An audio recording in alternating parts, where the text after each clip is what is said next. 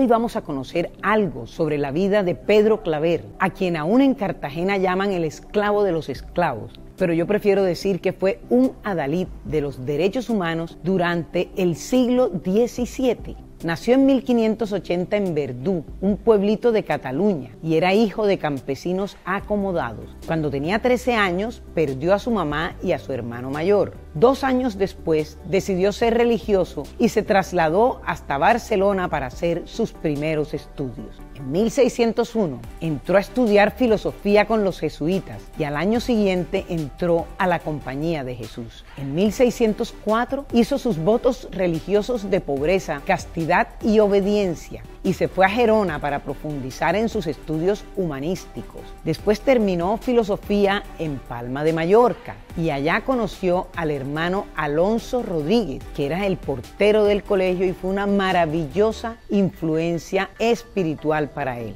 Después regresó a Barcelona para estudiar teología y en 1610 fue trasladado a las Indias. Se embarcó en Sevilla, pero quedó horrorizado al ver por primera vez cómo trataban a los africanos esclavizados en el puerto. Eso debió ser horrible. En junio de ese año llegó a Cartagena. Allí conoció al padre Alonso de Sandoval, que era un intelectual que protegía a los esclavizados. Con él aprendió mucho sobre el calvario que vivían los africanos. En 1530, el emperador Carlos I prohibió la esclavitud de los indios, pero antes garantizó suficiente mano de obra africana, concediendo las primeras grandes licencias para el tráfico de los esclavizados. En septiembre llegó a Santa Fe para terminar sus estudios de teología y después hizo el curso de espiritualidad jesuita en Tunja.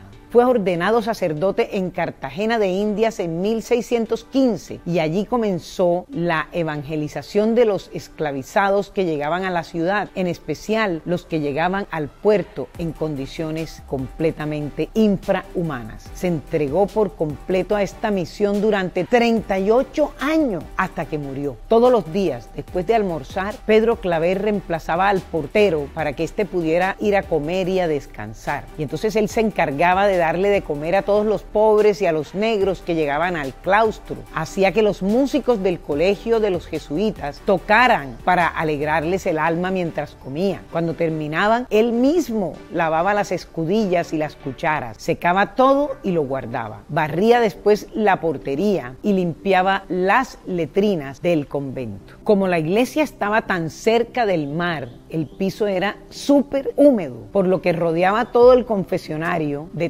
tablas y esteras. Cuando llegaban más africanos, les ponía hasta su propia capa. Mandaba la silla de brazos para transportar a los negros y a los indígenas que estaban enfermos cuando no podían caminar, para hacerlos curar, confesarlos y darles la Eucaristía. Y los devolvía de la misma forma. Cuando enfermaban, él mismo les llevaba la comida. Cuando predicaba a los esclavizados, los sentaba sobre esteras y tablas, les hablaba caminando entre ellos, tocaba sus cabezas y sentaba a los intérpretes en las sillas más altas para que los recién llegados vieran cómo él trataba a los africanos que eran sus intérpretes, para que así ellos quisieran recibir a Cristo e instruirse. Lo único importante para Pedro Claver era la salvación. Y aun cuando procuraba aliviarles el dolor físico y mejorarles el ánimo, lo que le importaba era la espiritualidad. ¿Sabías tú que Pedro Claver también tenía esclavos? Claro, los amos se negaban a prestarle sus intérpretes, por lo que él hizo que el convento comprara unos esclavizados para que actuaran como intérpretes, pero se dice que él los cuidaba como si fueran sus propios hijos. El padre Claver acostumbraba a predicar en las calles de la ciudad durante los domingos de cuaresma, llevando una cruz en la mano, mientras los intérpretes iban traduciendo e invitaban a todos los negros para que se les unieran a la procesión. Hacía una especie de concursos, les preguntaba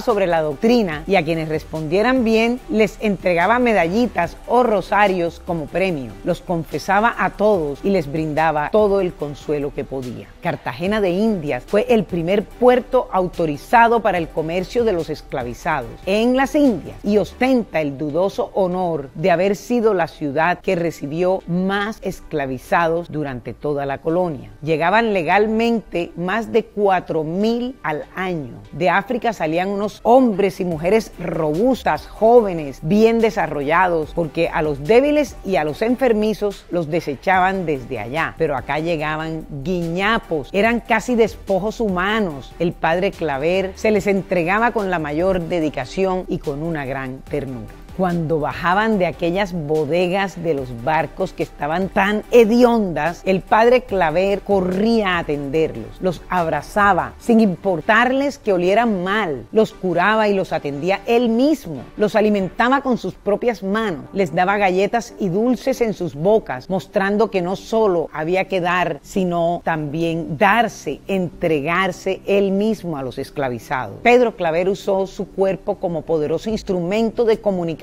porque ellos hablaban otras lenguas y así él les transmitía todo el amor y la solidaridad que sentía por ellos. El padre Claver hacía que los esclavizados se casaran porque eso dificultaba su venta, pues no se podían separar a los matrimonios. Esto obviamente molestaba mucho a los amos quienes veían a Claver como una amenaza. En la comunión pedía que se acercaran todos, negros, indios, todos a comulgar, lo que desagradaba terriblemente a los blancos que decían sentirse muy incómodos con todo ese mal olor. Cuando los blancos le pidieron que celebrara misas diferentes, unas para ellos y otras para los negros y los indios, ¿qué les contestó el padre Claver? Pues les dijo, no señor, porque todos ustedes, los blancos, los negros y los indios, son igualmente hijos de Dios. Pedro Claver creía firmemente que el sufrimiento terrenal y la renuncia a los bienes materiales eran la antesala del cielo, por lo que además de vivir en extrema pobreza, también se autoflagelaba con frecuencia. Ustedes se preguntarán, ¿por qué si creía tanto en esta causa nunca escribió en contra de la esclavitud o jamás se enfrentó a los poderes establecidos? Una respuesta podría ser que al creer en la salvación su principal interés era salvar las almas, pero yo diría que los hechos históricos hay que analizarlos en su contexto. Ese es uno de los problemas más complejos al estudiar la historia de cualquier periodo. Después de 38 años de apostolado con los africanos, Pedro Claver contrajo una parálisis que aceleró su final y murió finalmente el 8 de septiembre de 1654 cuando tenía 71 años. Le brindaron tres días de funerales en tres días distintos. Primero fue la ciudad, después el gobernador y un tercer funeral que fue el más fastuoso y seguramente muy alegre ofrecido por los negros en agradecimiento. Noten que no he mencionado una sola vez la palabra esclavo, sino esclavizado, que era la forma correcta, porque los africanos fueron secuestrados en contra de su voluntad. Ellos jamás aceptaron voluntariamente su cautiverio, siempre opusieron resistencia durante el tiempo que existió todo este macabro negocio que tantos beneficios